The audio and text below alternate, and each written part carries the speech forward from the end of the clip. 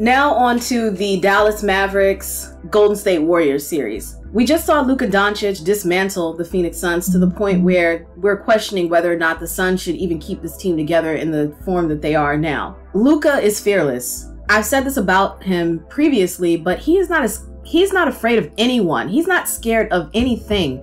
And don't make the mistake of challenging him or kind of nudging him or you throwing shade at him because when you do that, he will show you just how great he is. Like Jimmy Butler, Luka Doncic has forced his way into the conversation for best player of the NBA in the NBA, future face of the NBA, and not since Larry Bird, let's be honest, I'm just gonna say it, have we seen a, a white player who could legitimately take on that role as face of the NBA. He's amazing offensively. And you can see that Jason Kidd is putting a fire in Luka's belly to try to play defense as well. I have never seen Luka put forth as much defensive effort as I witnessed or as I saw him um, put forth in that series against the Suns. I can see a young player who's not yet 25 understanding that the strategy that comes with basketball that Jason Kidd understands and is a master of has a lot to do with how you play on both ends of the basketball and has a lot to do with how you are able to involve your teammates in the process of winning individual games.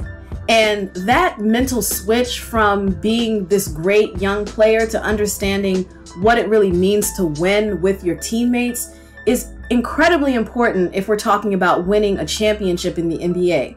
And I think that that switch has been turned on for Luka Doncic we saw it in the series against the Phoenix Suns. And because he is really that great, we saw Luka do something that no one expected, which is take down what was arguably the best team in the NBA coming out of the regular season. Now, going up against the Golden State Warriors is going to be an entirely different animal. The Golden State Warriors have more experience than any other team right now in the playoffs and actually winning a championship. And we cannot discount how doing that once, twice, three times helps you to prepare for the mental and physical challenges that inevitably will come along the way. And when you've done something before and you kind of can anticipate what will happen and know what to expect, both from yourself, from your teammates, from the other team, it obviously gives you an advantage. And the Golden State Warriors, like I've said before, are the smartest team in the NBA. But at this point, they're going up against one of the smartest coaches in the NBA who will recognize pretty much anything that they'll throw at the Dallas Mavericks and be able to respond accordingly. So the question is whether or not Stephen Curry and Klay Thompson and Jordan Poole will be able to rise to the occasion and play at the level that we all know that they're capable of. And I'm going to narrow this down to one guy. A lot of people don't believe that Stephen Curry can be that guy in the postseason. This is a criticism of him, whether you believe it's fair or unfair. But I think that if Stephen Curry is shooting like we know he can shoot and scoring like we know he can score, it is almost impossible to beat the Golden State Warriors. I love what I see from Stephen Curry this year. I love that I see him taking a step back and embracing a different type of role that allows his teammates to elevate and to be seen and to feel confident offensively. And it just goes to the humility and unselfishness of him as a player and as a man. And I have so much respect for that. But there are moments when the Golden State Warriors need him to Michael Jordan or Kobe Bryant it and just say, I'm taking over, I'm about to do my thing, and we're winning this game based on my scoring. And I think that there will be some moments in this upcoming series where they will need Stephen Curry to do that. And I hope that he rises to the occasion because although I'm not the biggest Warriors fan, you guys know I love me some LeBron James.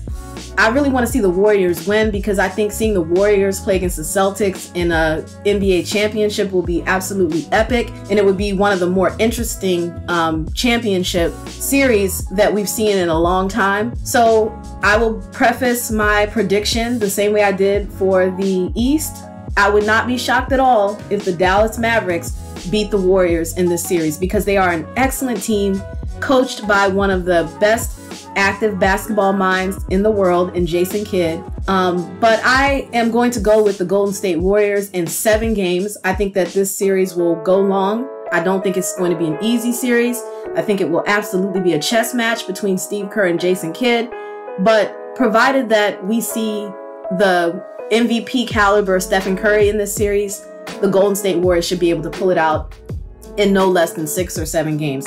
So those are my predictions. I know that this video went long, but I appreciate everyone who listened to the entire video. Don't forget to subscribe to the channel, hit that notification bell, comment whether you agree with me or not, put your predictions down in the comment section. Let me know what you think will happen. Don't forget to share if you care. I appreciate you guys, and I'm out.